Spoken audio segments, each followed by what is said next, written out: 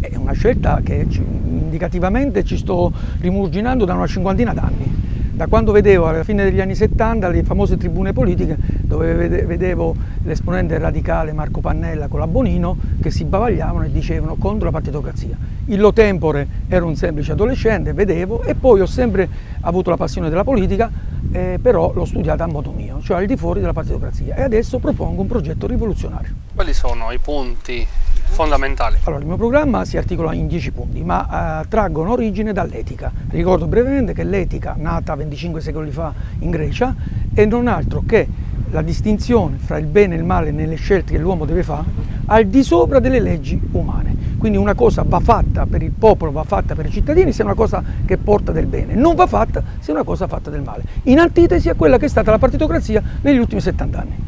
Ma il turismo deve essere la punta di diamante. Ragazzi, non ci dimentichiamo che io faccio, sono stato adolescente negli anni 80. Negli anni 80 Francavilla era la perla dell'Adriatico, adesso è diventata la perla nera.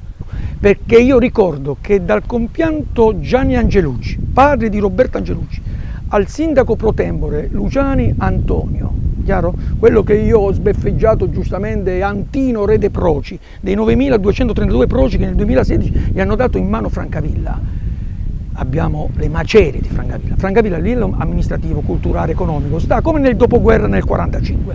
Allora per una rinascita di Francavilla bisogna azzerare, formattare tutta la macchina amministrativa e ripartire da zero con principi etici. E sarà complicato? No, no, no, per chi non conosce la materia.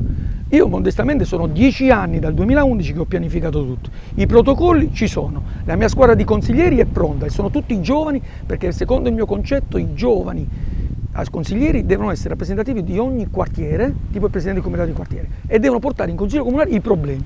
Poi la squadra di governo, la, se permettete, la legge mi dà la possibilità, nei primi 100 giorni gli assessori li nomino io, perché devono essere assessori tecnici, cioè esperti in materia, che prenderanno lo stipendio solo se realizzeranno il loro mini programma. Perché io vorrei dire una cosa, a Francavilla si è fatto l'inverso, si è stato nominato assessori solo perché avevano preso 250-300 voti da consigliere.